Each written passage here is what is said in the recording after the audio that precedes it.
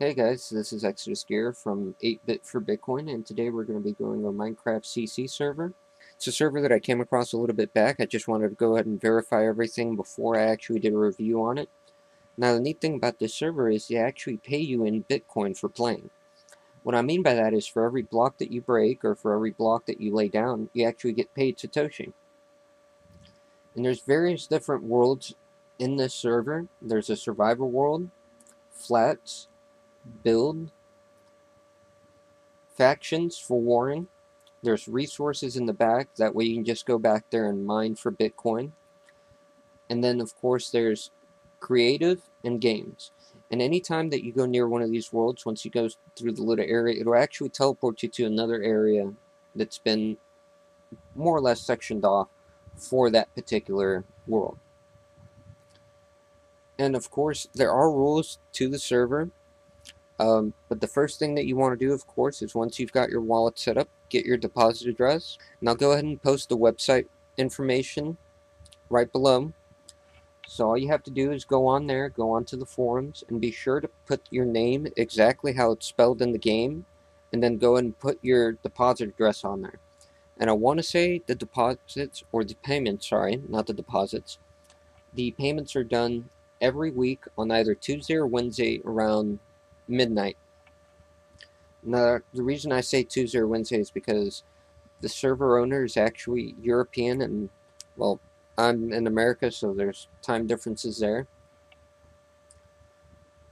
But if you look here, there's actually giant Tron City that somebody has built.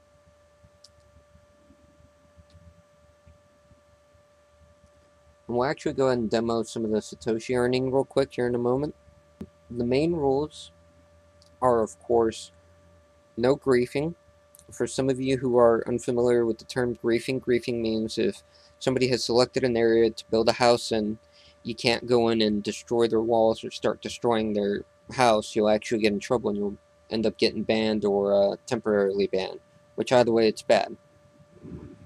Now one good thing that I did find out about the site is that it's actually rated PG. So there's no cussing, nothing crazy like that.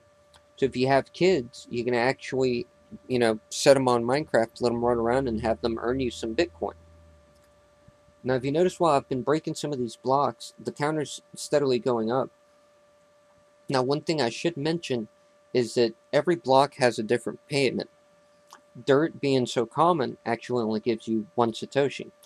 But if you notice these other blocks as I'm breaking them, they're actually earning me about 10 Satoshi each. And like I said, it isn't limited to just breaking blocks. Once you set down blocks, oh, let me go and back out of here real quick.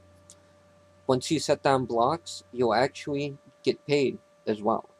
You get a small payment for that.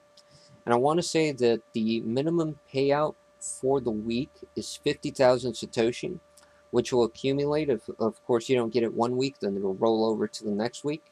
And the maximum for the payout is 0.04 Bitcoin. So if you get anywhere between there within one week, then you'll you'll be sure to get a payment.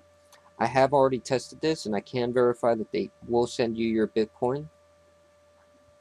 But that's really about it, guys. Um, I hope you enjoy this, and you know, go have fun. Don't go crazy. Don't do anything bad that'll get you banned, and enjoy.